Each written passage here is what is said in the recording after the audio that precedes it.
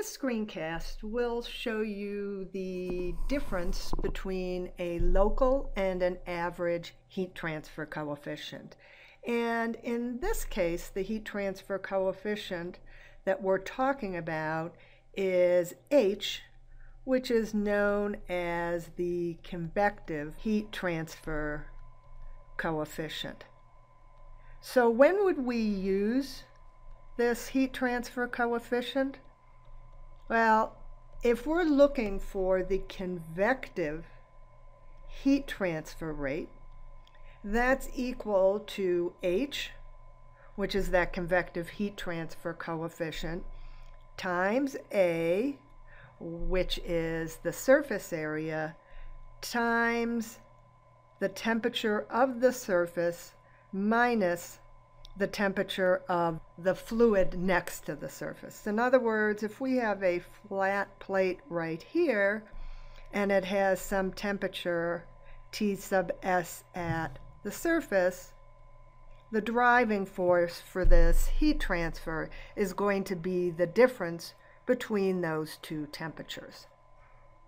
So this equation looks fairly straightforward. However, the problem is determining that h because that h is a function of so many different things such as fluid properties, the geometry, velocity, etc.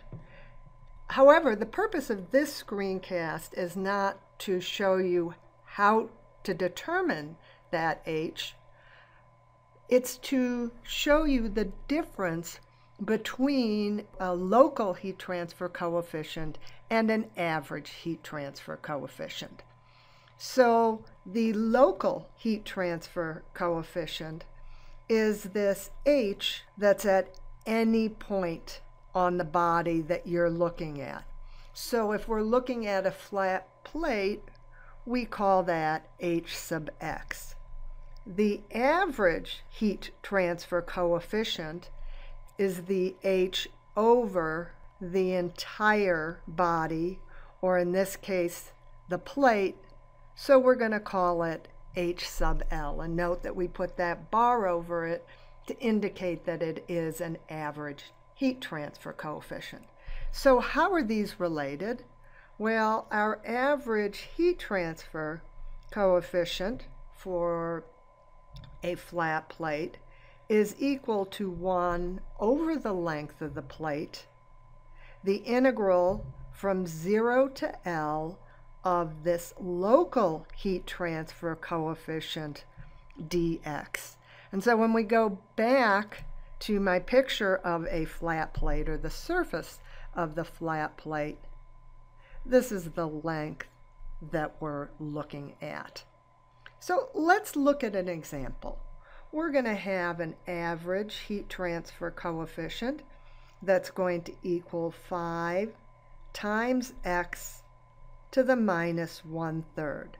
And first of all, what are the units of 5? Well, the convective heat transfer coefficient has the units of watts per meter squared K. Therefore, the units of 5 has to be watts per meter to the 5 thirds K so that it is dimensionally homogeneous. So now let's find the average heat transfer coefficient. So our H sub L is going to equal 1 over L, the integral from 0 to L, 5 times x to the minus 1 third dx. And in this case, we're going to say that we have a flat plate that is one meter long. So this is just going to be equal to 7.5 watts per meter squared K. So here's our average heat transfer coefficient why don't we look now at the local heat transfer coefficient along the plate. So we're going to look at 0.1 meters 0.2 meters, and this is from what's known as the leading edge of the plate, 0.3 meters, all the way down to 0.9 and 1.0 meters. And so if we calculate the local heat transfer coefficients at each one of these points, you notice that we start with a larger heat transfer coefficient, which gradually decreases as we go along the length of the plate.